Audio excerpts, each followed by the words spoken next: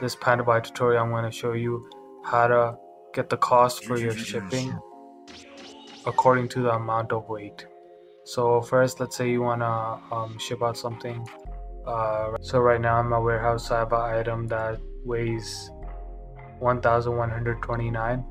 And let's see the estimation. So you go in the top right, even when you come home, you see this, the estimation in the corner. And I'm in Canada.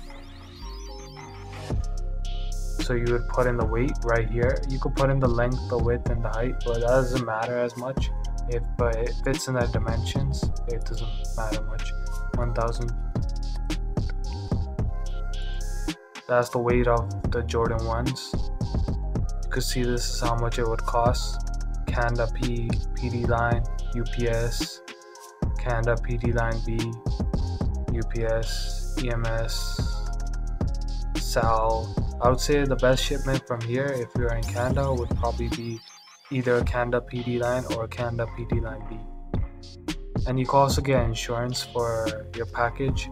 Let's say it gets lost or it gets stuck in customs, you could, you could get insurance. Let's do more weight. Let's see about 10 kg. This would be 10 kg. According to the weight, let's say if you ship uh, more than two shoes uh, in your package, some of these options won't be available to you. It also, also matters uh, how big the items are. That's 20 kg right there.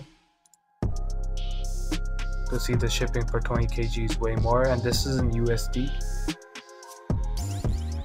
That's how, how much you find how you find the cost for your shipping. You input the weight in grams here. So let's say if it's 7.8 kilograms, you'll put 7,800 grams. This is the cost you would get.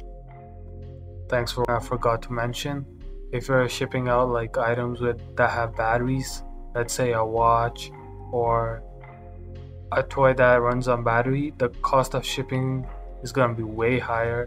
Also, there are gonna be some lines that won't be available to you I know Sal won't be available to you. I think uh, the only lines would probably be UPS. So if you're make make sure you're not shipping something that has batteries in it